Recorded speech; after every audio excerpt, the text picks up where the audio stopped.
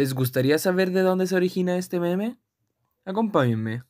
Undertale es un videojuego de rol, aventura y acción que cuenta la historia de Frisk, un niño sin género que cayó al subsuelo a través de una cueva y tiene que aventurarse en un mundo lleno de monstruos tanto amigables como hostiles. A lo largo de la aventura, puedes escoger tus acciones, consiguiendo así más de un final, siendo uno de estos finales el final pacifista, donde disculpas a todos los monstruos. Mientras que el final genocida prefiero no explicarlo.